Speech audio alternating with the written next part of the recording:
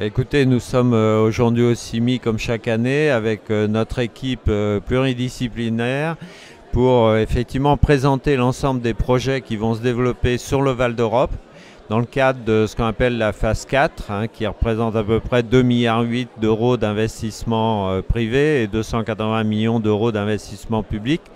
Et avec juste derrière moi le volet touristique, avec notamment un hôtel de 400 chambres sous la marque BNB qui vient d'ouvrir cette semaine.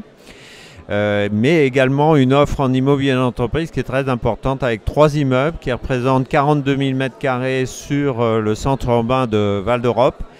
Euh, trois immeubles très différenciés. Un premier de 23 000 m2 qui a été lancé en blanc par le promoteur Legendre. Un deuxième de 12 000 également par le même promoteur qui est occupé aux deux tiers.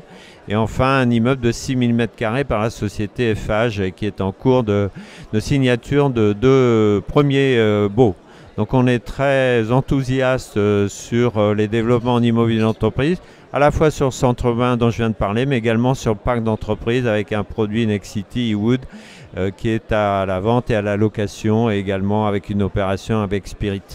Donc on espère beaucoup de ces jours pour surtout présenter euh, l'ensemble euh, de nos projets euh, de développement, toujours en partenariat avec les différents administrations et pouvoirs publics qui nous accompagnent dans ce projet de partenariat public-privé.